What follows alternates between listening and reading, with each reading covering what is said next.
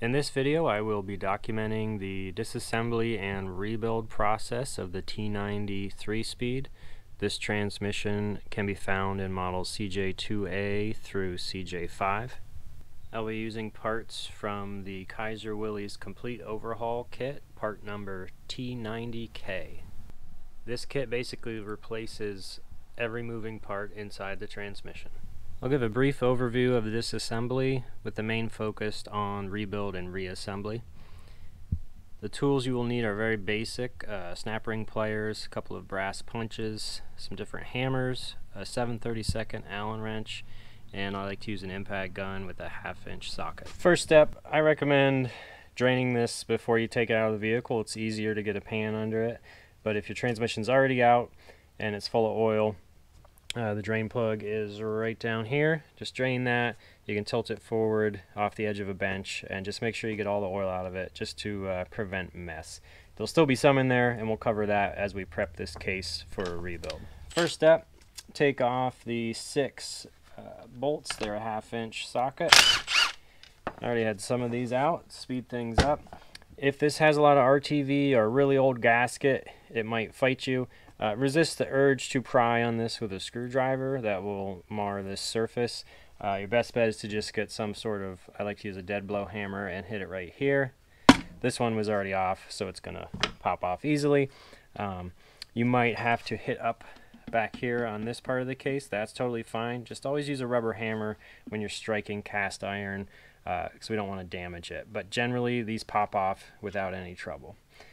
Um, hopefully your shift tower looks like this. It's common to get rusting up on these shift rails if the transmission has sat without oil uh, spinning in it for quite some time.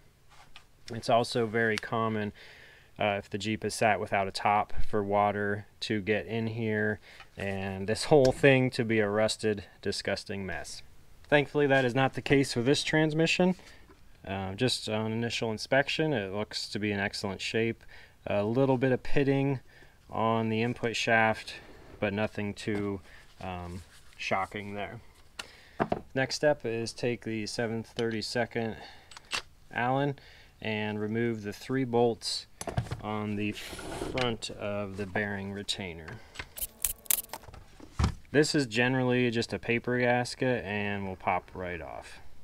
So you can leave the bearing on there if you want to get some sort of parts bin to put all the stuff you take off in and try to keep it organized.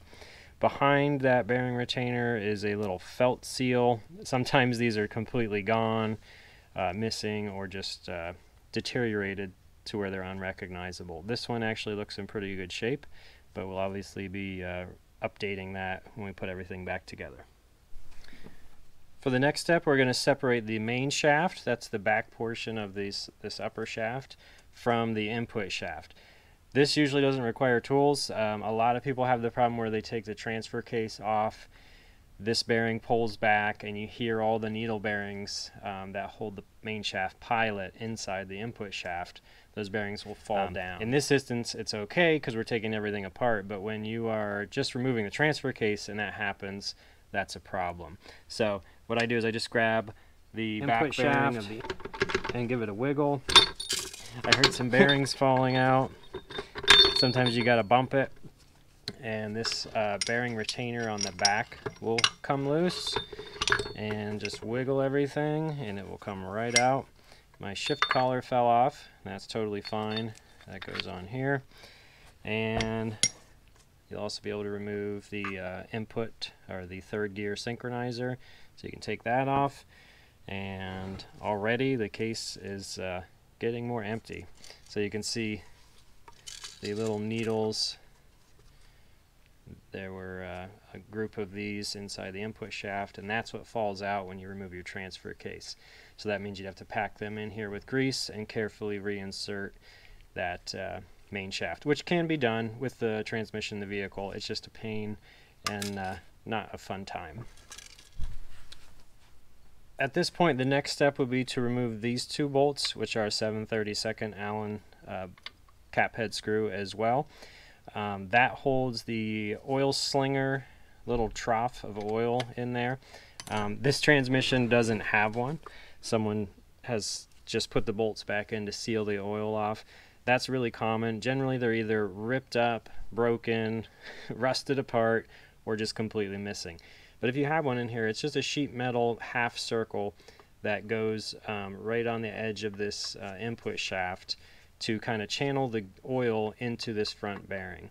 So as you can see, this doesn't have it. This Jeep's been in service for years and it, the bearing is fine. So if you have it, I recommend putting it back in, but if you don't, uh, don't stress over it.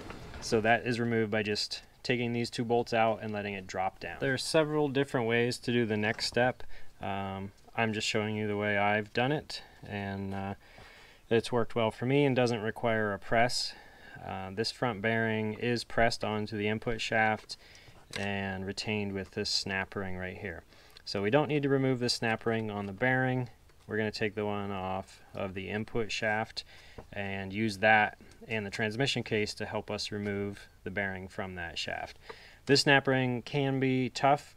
These are not the correct snap ring pliers for that. You'd want the flat build one, but sometimes if you're like me, you just have to get by with what you have.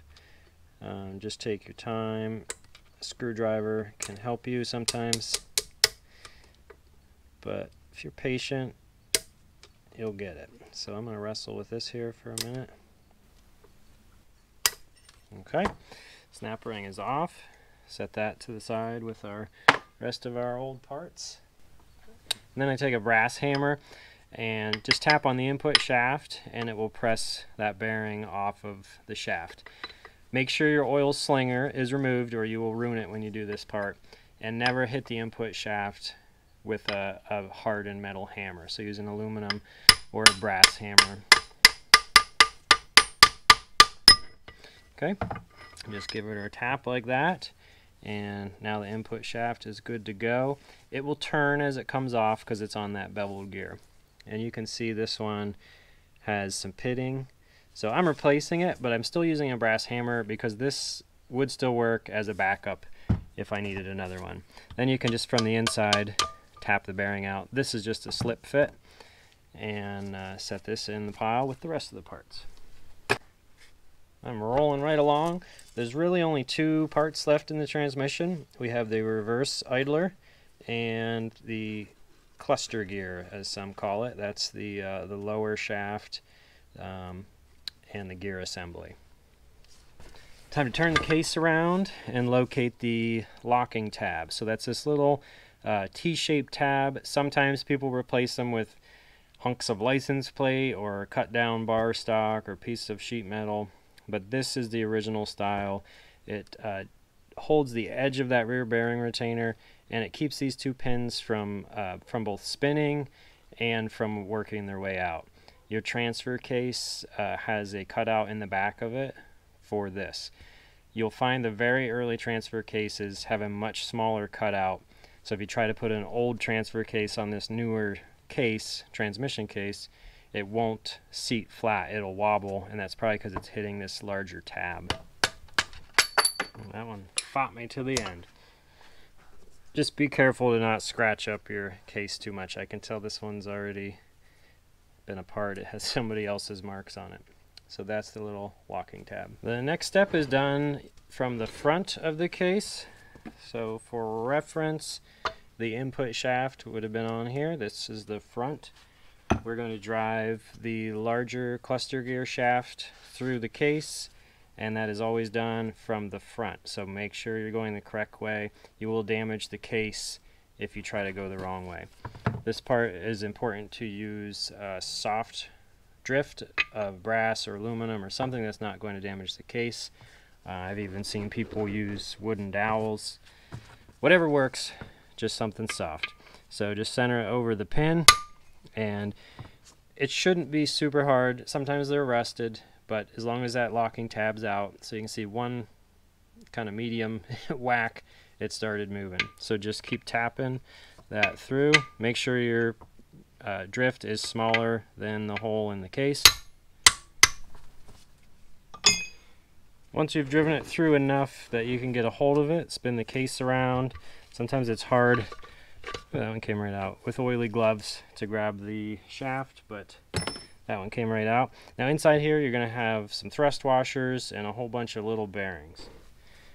To get the cluster gear out, it's very easy. With everything else out, um, you just kind of rock it and turn it and it'll pull right out. So there's your washers. This larger gear will fit right up through this cutout. You just kind of roll it and pull it up through. If you keep your hand on the bottom, it will save some mess of all those needles falling everywhere. Once you have it to this point, you're going to start seeing these needles come out. Each side has, I think, 44 needles and three washers. And then in the middle of that, there should be a spacer.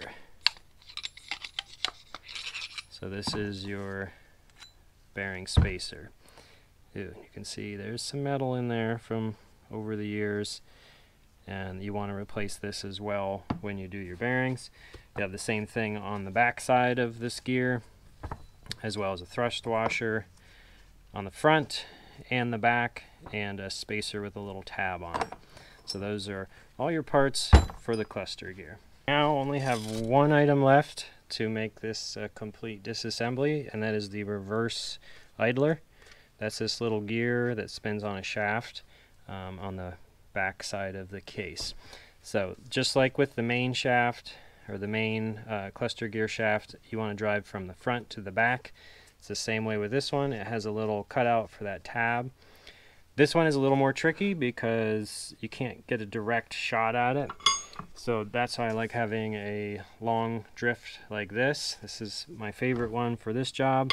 And we're coming from, it's kind of hard to see, coming from the front to the back like this. And that's all it is. Some people hit it a few times and it doesn't move, and then they try to hit it from the back to the front. That's no good. You have to go from the inside. Make sure you're on the shaft and not the case, and give it a good whack. Okay, you can kind of keep an eye on it, make sure it's moving a little bit. This one can be a little bit of a pain sometimes. It's moving. Should get a little bit each time. Then you'll reach a point where it starts to become easier, which it's happening right now. And it just shot out the back. That's a good sign. This is the reverse idler shaft. This one looks in pretty good condition. This uh, one has, particular one has a flat machined on it, probably for oiling. And this is the reverse idler gear. There's no bearings inside here. It just has a bronze or brass bushing. And this one looks in pretty good shape. But that's it. If you're wondering why I'm taking this transmission apart to begin with, um, I'll talk about that now. Yes, everything looks pretty good on the surface. Um, not rusty. None of the gears are broken, no broken teeth, anything like that. But all is not well within this transmission. It uh, came to me stuck in gear, um, and the owner had talked about a few problems they had with a sticking throttle and a problematic clutch that led to a big awooga on this gear shift, which caused it to get stuck in gear. So after a little bit of whacking, I found the problem was on this uh, synchronizer shift collar. So if you can see, there's some serious um, wear around here. That's where this part meets the input shaft. So it was spinning at high speed and not releasing. And then this got kind of like jammed on there. And uh, so then now this is so raised that this collar won't slide. And in that process, it broke some of these synchro dogs. They ride on the synchronizer hub and help engage that collar. And uh, all three of these were down in the oil pan, you know, the bottom of the transfer case, along with this, uh, which appears to be some sort of washer that was mangled and bent. So it had metal circulating through the oil. I think it pretty much was done running when that happened, but uh, the rest of the gears show a little pitting and wear, so it's a good time to just replace everything. That uh, also leads to second gear popping out, so it's a great time to take this off, replace second gear, replace everything, get rid of this problem, and start fresh. Since I am replacing everything in this transmission, the Kaiser Willys T90K kit comes with everything on here. It's not assembled, but I really don't need to take this apart for the job I'm doing. But for the video, I'm going to, just so you can see how that's done and what the parts look like. So this is what's called your main shaft. It has your input pilot, synchronizer hub. This is second gear. This is first and reverse gear, your bearing retainer, rear bearing, and main shaft. The way you take all this apart is quite simple. From the front, so this is where the front of the transmission would be, there is a snap ring. Um, this one is also quite stiff and can put up a bit of a fight. So we got to pop the snap ring off. There it goes. You heard it echoing through my shop. That's okay. After the snap ring's off, the synchronizer hub should come off fairly easy. This is part of the problem with the failure that this transmission had. So you can see this is the front. This is your this is the synchronizer blocking ring for second gear. And inside here are two little springs. There's a hunk of metal. That is a piece of one of those. Um, a few of these were missing chunks. And I'm guessing that's what that little piece of metal is down in there. After you take off the second gear blocking ring, second gear will slide right off. This is second gear. This is where a lot of your uh, popping out of second gear problems come from. It's a relationship problem between these parts. Um, so it's a good idea, especially um, if you've had problems with that when you're into your transmission, just replace all of this stuff. So there's the second gear assembly and uh, we're getting down there. So this, all that's left on the main shaft now is first gear, the uh, rear bearing, and bearing retainer. This gear is pressed on the main shaft, but it's usually a very uh, slight pressed fit. So you can kind of stand it on end like this and use first gear as a slide hammer and uh, give it a couple of good whacks and it should all come apart. So this is your main shaft. This one looks in nice shape, but we have a new one, so we're going to use all the new parts. Uh, this is first gear and reverse, so you see some pitting there. These usually get worn pretty heavily on the edge from people grinding it into first and reverse. Um, so good time to replace that as well. This is your bearing retainer. This is the bearing spacer. And this is the rear output bearing. And that is it. These three speeds are extremely simple and I encourage everyone to learn how their Jeep works and learn how to rebuild their own transmission. It's a fun job and it really helps gain some knowledge on how your Jeep works.